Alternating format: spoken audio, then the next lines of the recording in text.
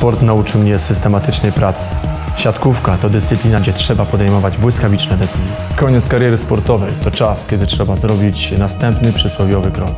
Zapraszam Państwa na wybory.